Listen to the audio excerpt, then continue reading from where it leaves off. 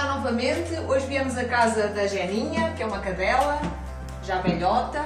Olha lá, Geninha. Do Riscas, do Matias, de Simone, não sei onde é que ela está. E da que está ali escondida. Só a espreitar com uma cabeça. Olha, está aqui a Simoneta. Olha a Simonetinha, nunca vi a Simoneta.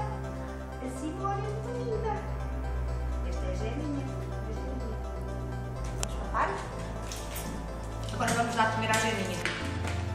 Que é assim um nico.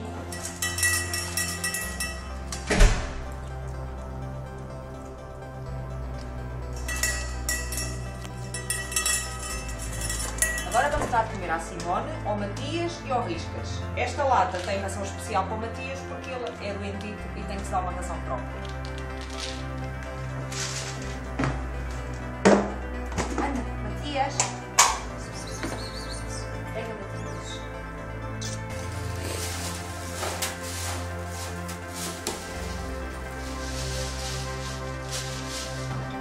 Agora vamos aqui preparar este brinquedo para a Geninha, porque ela tem alguma ansiedade de separação.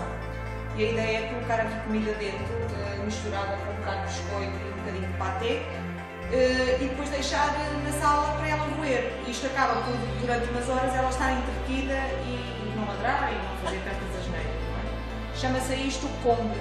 Tem aqui uma biscoitinho, ou pode ser com ração, só para dizer que a ração depois sai um bocado pelo buraco.